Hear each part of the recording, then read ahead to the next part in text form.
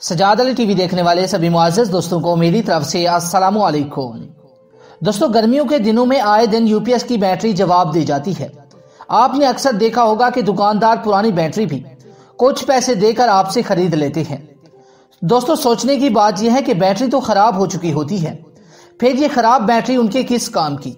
यही असल नुकता है, जो आपको समझाया जाना मकसूद है, ताकि आप माली नुकसान से बच सकें। दोस्तों, मजीद तफसीत की तरफ़ बढ़ने से पहले मैं अपने तमाम नए देखने वाले दोस्तों से मौदबाना गुजारिश करूँगा।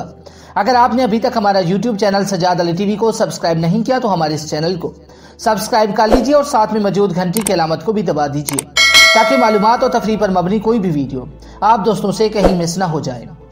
दोस्तों, दुकानदार जो खराब बैटरी आपसे खरीदते हैं, वही कुछ दिनों बाद नई बैटरी की शक्ल में बाज़ार में मौजूद होती है। असल में बैटरी कभी कमज़ोर नहीं होती। उसका कोई एक सेल कमज़ोर हो जाता है, जो तकरीबन पंद्रह सौ रुपए में मिल जाता है। दुकानदार उसका कमज़ोर सेल तब्दील करके नया प्लास्टिक कवर लगाते हैं और फिर से किसी नए गाँव को बेच देते हैं।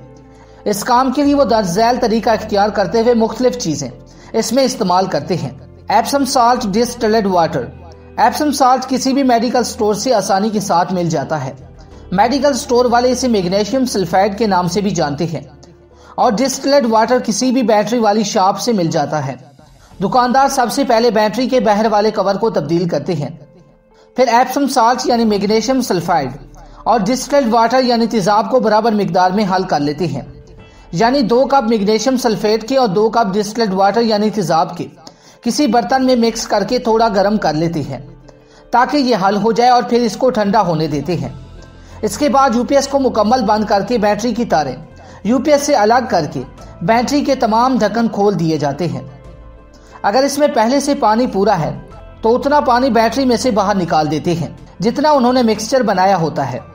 अब बैटरी में मिक्स किया हुआ मिक्सचर तमाम सेल्स में बराबर मिकदार में डालते हैं और ढक्कन फौरी तौर पर बंद कर देते हैं। फिर फौरी तौर पर बैटरी को यूपीएस के साथ अटैच करके चार्जिंग पर लगा देते हैं। इसके लिए दुकानदार सात से दस दिन इंतज़ार करते हैं। एक हफ़्ते के बाद बैटरी की परफॉर्मेंस बिल्कुल पहले जैसी हो जाती है। और आपसे खरीदी हुई अढ़ाई तीन हज़ार की बैटरी फिर से आपको दस पंद्रह हज़ार की बेच दी जाती है। दोस्तों, अगर आप इस फराड से बचना चाहते हैं तो दुकानदार से बैटरी का सेल चेक करवाएँ और इसरार करें कि वो सिर्फ़ खराब सेल ही तब्दील करें। दोस्तों ये थी बैटरी के हवाले से बनाई गई एक मालूमती सी वीडियो। उम्मीद है ये वीडियो आपको पसंद आई होगी। वीडियो पसंद आने की सूरत में इसे अपने अज़ीज़ अबाब के साथ व्हाट्सएप और फेसबुक वाल पर शेयर करते हुए हमें अपनी कीमती राय से ज़रूर आगाह कीजिएगा। Thanks for watching. Allah Hafiz.